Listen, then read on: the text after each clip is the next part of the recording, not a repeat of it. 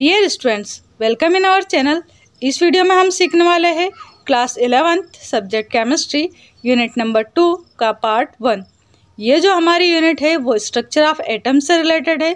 यानी इस यूनिट में हम एटम के स्ट्रक्चर के बारे में पढ़ेंगे. तो आइए सबसे पहले देखते हैं हम कि इलेक्ट्रॉन प्रोटॉन और न्यूट्रॉन के डिस्कवरर कौन है, यानी इनकी खोज किसने की थी. इसके बाद देखेंगे हम कैथोड रेस क्या है उसके बाद atomic number, atomic mass number क्या होता है, आइसोटोप्स क्या है, एंड आइसोबार क्या है, ठीक है? तो देखते हैं यहाँ पर जो इलेक्ट्रॉन है, इसकी डिस्कवरी सबसे पहले किसने की थी? तो सर, जे जे थॉम्सन ने की थी। जो प्रोटॉन है, इनकी डिस्कवरी किसने की थी?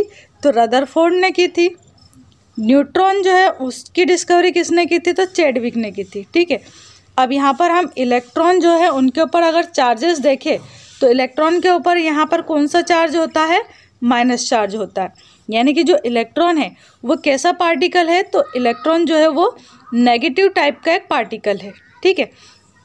ऐसे अगर हम प्रोटॉन देखें तो प्रोटॉन के ऊपर कौन सा चार्ज होता है? प्लस चार्ज है। न्यूट्रॉन के ऊपर अगर हम चार्ज देखें तो यहाँ पर कोई चार्ज नहीं होता, यानी कि ये न्यूट्रल पार्टिकल है। ये कहाँ प्रेजेंट होते हैं, ये भी हम देखेंगे आगे।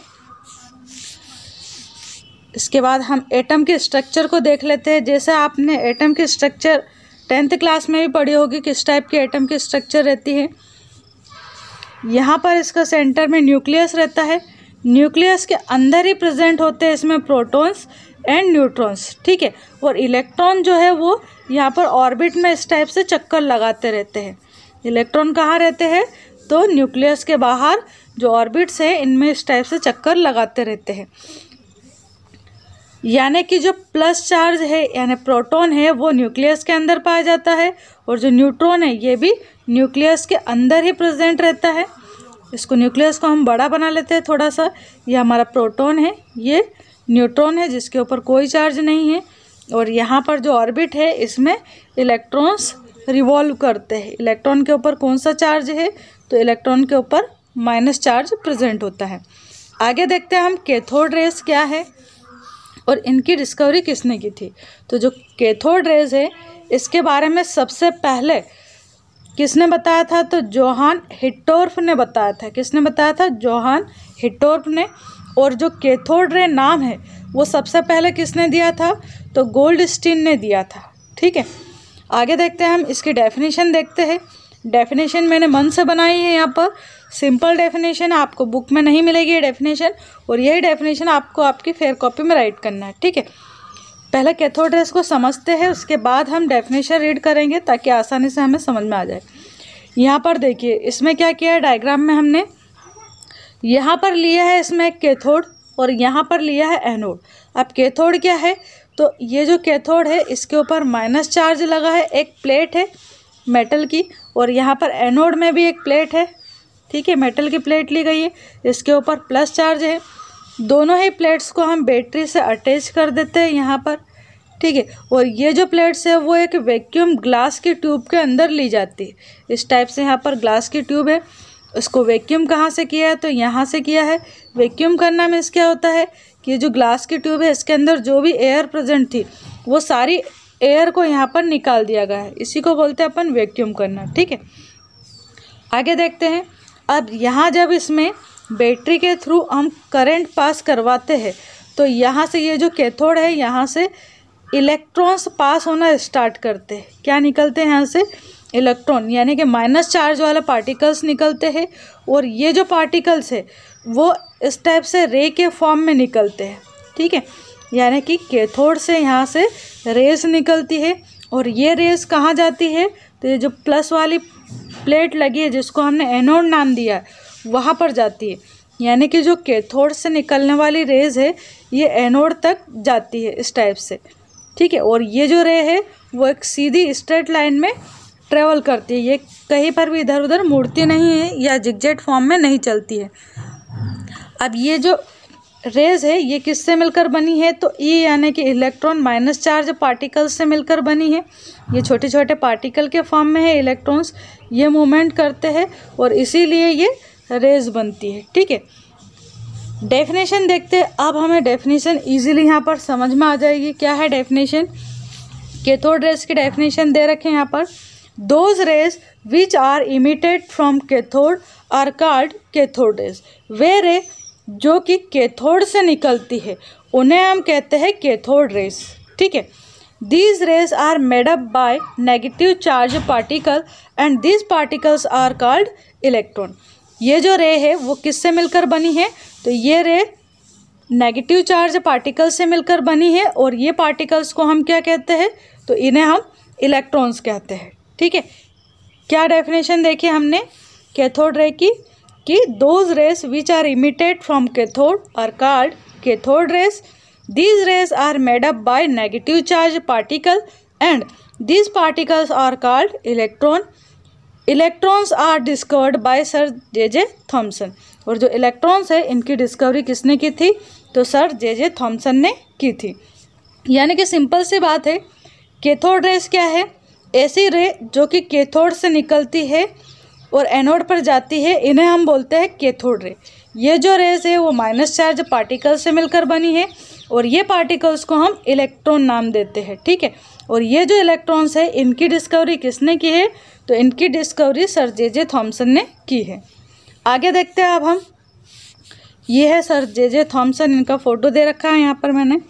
आगे देखते हैं, ये जो रेस है, इनकी प्रॉपर्टीज़ एग्ज़ाम में फाइव प्रॉपर्टीज़ राइट करने के लिए आती है विथ डायग्राम तो यहाँ पर देखते हैं अपन फ़र्स्ट जो प्रॉपर्टी है कैथोड रे की वो क्या है।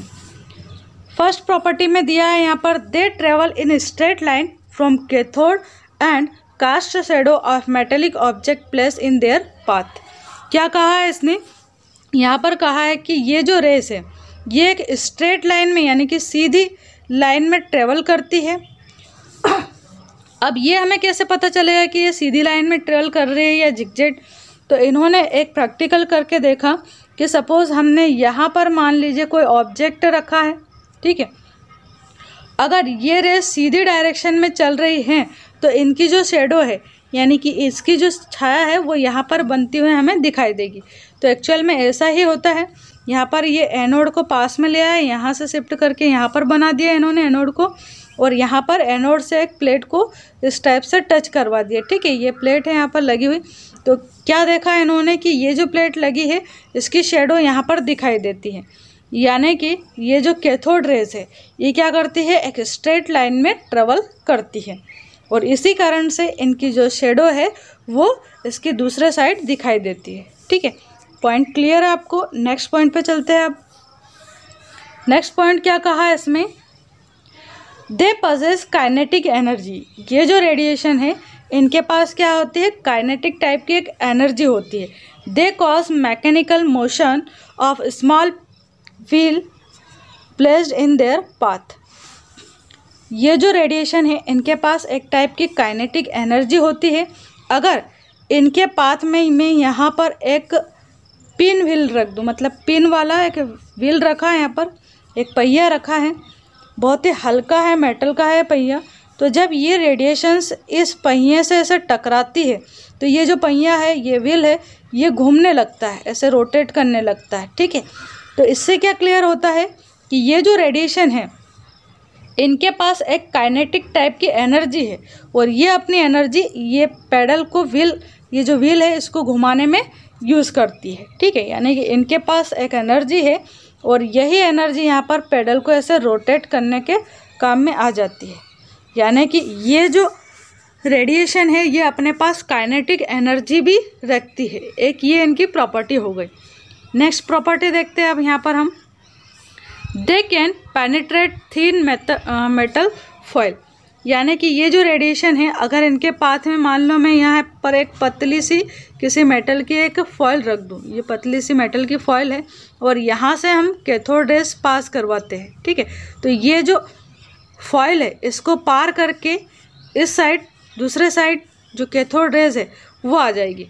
यानी कि कैथोड रेस के अंदर इतनी पावर है कि एक पतली जो मेटल की चादर है, उसको भी पार करके निकल सकती है। तो ये थर्ड पॉइंट था हमारा प्रॉपर्टी का। फोर्थ पॉइंट देखते हैं। क्या कहा इन्होंने फोर्थ पॉइंट में? कि सपोज़ हमने, मान लीजिए, कैथोड रेस के पाथ में कोई हाई मेल्टिंग पॉइंट वाली मेटल रख दी है। यहाँ पर हाई मेल्टिंग वाली पॉइंट मेल्टिंग पॉइंट वाली मैंने मेटल ली है टंगस्टन ली है यहाँ पर। टंगस्टन जो है इसका मेल्टिंग पॉइंट बहुत ही हाई होता है और इसका जो सिंबल है वो डब्ल्यू है, ठीक है? टंगस्टन हम कहाँ यूज़ करते हैं, ये भी बता देती हूँ मैं आपको। जो घर में हम बल्ब यूज़ करते हैं, पहले येलो कलर के जो बल्ब आते थे, अभी भी आते हैं इस टाइप के।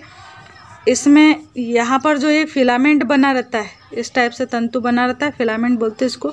ये पतला सा जो फिलामेंट है, ये बना होता है टंगस्टन, यानी कि हाई मेल्टिंग पॉइंट वाली मेटल का। ये इतना ज़्यादा पतला होता है, फिर भी इसमें से इलेक्ट्रिसिटी पास होने पर ये इजीली टूटता नहीं है है ना? जब ख़राब होता है, तभी ये टूटता है। इजीली नहीं टूटता है इसमें इलेक्ट्रिसिटी पास होने पर ये लाइटिंग करता है, यानी कि चमकता है और उस वजह से पूरे घर में लाइट रहती है। तो ये जो है टंगस्टन है। क्या कहा है इसमें कि मान लीजिए आप जो कैथोड रेज है, ये कैथोड रेज आ रही है सपोज़, ठीक है? और इनके पाथ में यहाँ पर आपने हाई मेल्टिंग वाली, मेल्टिंग पॉइंट वाली मेटल रख दी। तो इससे टकराने के बाद ये जो कैथोड रेज है, वो टकराने के बाद जो रेडिएशन रिफ्लेक्ट करेगी ना, वो कौन सी रेडिएशन होगी? तो एक्सरे होगी। यानी कि जो कैथोड रेज है, ये हाई मेल्टिंग पॉइंट वाली मेटल से जब टकराती है तो ये एक्सरे प्रोड्यूस करती है। ठीक है?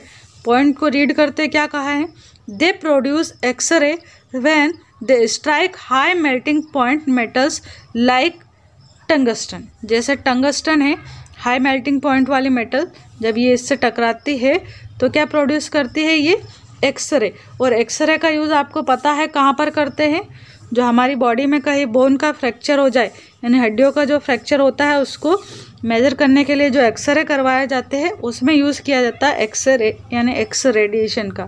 ठीक है? आगे देखते हैं हम। Cathode rays are negative charge जो कैथोड रेज है, इनके ऊपर अगर हम चार्ज देखें तो कौन सा चार्ज प्रेजेंट होता है? नेगेटिव चार्ज प्रेजेंट होता है। क्यों नेगेटिव चार्ज प्रेजेंट है इनके ऊपर? क्योंकि ये नेगेटिव चार्ज पार्टिकल जो इलेक्ट्रॉन्स है, इनसे मिलकर बनी है। इसलिए इनके ऊपर जो चार्ज है, वो कौन सा रहेगा? नेगेटिव चार्ज रहेगा। ठीक है? अब इसको प्रूव कैसे किया? तो इसको साइंटिस्ट ने कैसे प्रूव किया? यहाँ पर मान लीजिए कैथोड रेस की ये ट्यूब है। ठीक है? इस ट्यूब के अंदर कैथोड रेस यानी कैथोड के रेडिएशन से ट्रेवल कर रही है। अब यहाँ पर अगर हम दो इलेक्ट्रिक प्लेट लगा दे। एक प्लेट इस साइड लगाई है, इस पर प्लस चार्ज है। एक प्लेट यहाँ पर लगाई है और इसके ऊपर माइनस चार्ज है। इन दो, ये दोनों ही प्लेट्स को इन्होंने वायर से अटैच कर दिया इलेक्ट्रिसिटी पास करवा रहे हैं इनमें। एक पे प्लस चार्ज डेवलप है और एक पे माइनस चार्ज तो ये जो रेडिएशन है, वो क्या करती है? ये जो प्लस चार्ज है ना, इसकी ओर ऐसे मुड़ जाती है। ऐसा क्यों होता है? क्योंकि ये जो प्लेट है, इसके ऊपर प्लस चार्ज है और ये माइनस चार्ज वाले पार्टिकल्स को अपनी ओर अट्रैक्ट करती है। इस कारण से ये जो रेडिएशन है, वो प्लस वाली प्लेट की ओर मुड़ जाते हैं। इससे क्लियर होता है कि ये जो रेडिएशन है, वो किससे मिलकर बनी है? तो ये रेडिएशन माइनस चार्ज वाले छोटे छोटे पार्टिकल से मिलकर बनी है। ठीक है? तो यहाँ पर हमने क्या कहा कि cathode rays are negatively charge यानी कि कैथोड रे जो है, उनके ऊपर अगर चार्ज देखें हम तो माइनस चार्ज प्रेजेंट होता है। रिपीट करते हैं एक बार, फिर से देखते हैं हम कौन कौन सी प्रॉपर्टीज़ हमने देखी यहाँ पर। फ़र्स्ट प्रॉपर्टी हमने क्या देखी? कि ये जो रेडिएशन है, वो क्या करती है? एक सीधी लाइन में यानी स्ट्रेट लाइन में ट्रेवल करती है, ठीक है? सेकेंड प्रॉपर्टी हमने देखी कि ये जो रेडिएशन है, इनके पास एक काइनेटिक टाइप की एनर्जी होती है जिसके कारण एक पिन व्हील को ये रोटेट कर सकती है। यहाँ पर पिन व्हील को इन्होंने रोटेट करवा दिया था। थर्ड जो प्रॉपर्टी है, उसमें हमने देखा कि ये जो रेडिएशन है, इनके पास इतनी ज़्यादा पावर है कि ये अगर इनके पाथ में हम एक पतली सी मेटल की फॉइल रख दें यहाँ पर तो ये इसको पेनिट्रेट करके आर पार निकल सकती है। फोर्थ पॉइंट में देखा हमने कि जब ये हाई मेल्टिंग पॉइंट वाली किसी मेटल से टकराती है लाइक टंगस्टन तो ये टकराने के बाद रिफ्लेक्ट होके जो आती है, वो क्या होती है? एक्सरे होती है, यानी एक्सरे प्रोड्यूस करती है ये, ठीक? नेक्स्ट पॉइंट हमने देखा कि कैथोड रेज जो है, वो कैसी होती है? तो नेगेटिव चार्ज होती है, यानी कि इनके ऊपर माइनस चार्ज होता है। इसीलिए तो ये प्लस वाली प्लेट के ऊपर झुकती है इस साइड यहाँ पर दिख रही है आपको ये प्लस वाली प्लेट की ओर झुक रही है। सपोज़ इनके ऊपर अगर प्लस चार्ज होता तो क्या होता? फिर ये क्या करती? माइनस चार्ज वाली जो प्लेट है, यानी ऊपर के साइड, उस साइड जाते हैं, है ना? इस साइड झुकती। बट इनके ऊपर कौन सा चार्ज है? माइनस चार्ज है। इसलिए ये प्लस वाली प्लेट की ओर डिफ्लेक्ट होती है या मुड़ती है।